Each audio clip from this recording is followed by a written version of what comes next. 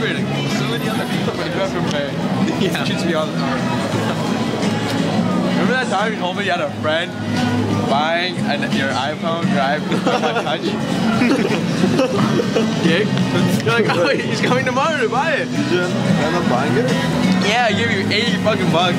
So, On my iPod? yeah, iPod Touch. Oh. Oh, that's where my iPod Touch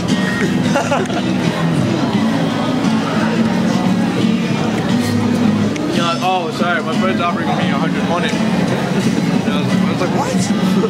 my friend? Thanks. Just for 80 bucks. There's pawn shop somewhere. Cool. I get